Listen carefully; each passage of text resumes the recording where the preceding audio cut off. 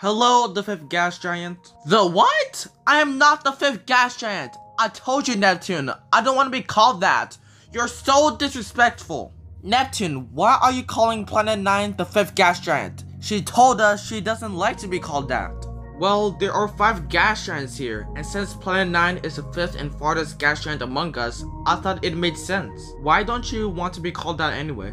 I want to maintain my own distinct identity, separate from the narrative of the fully ejected fifth gas giant.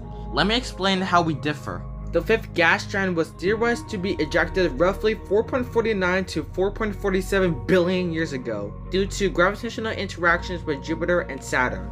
Meanwhile, I am a proposed planet that still exists in the solar system, orbiting far beyond Neptune. It's estimated to take 10 to 20,000 years to complete one orbit around the sun.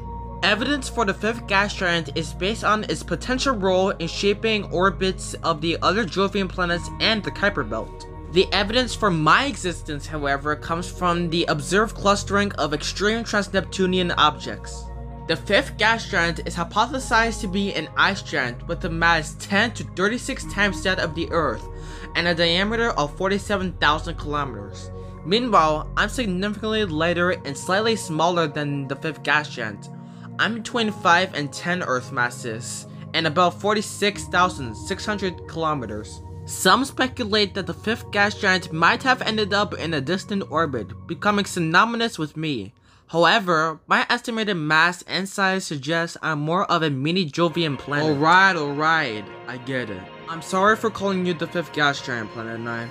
Hey, don't worry, just don't call me the fifth gas giant anymore, okay Neptune? Okay.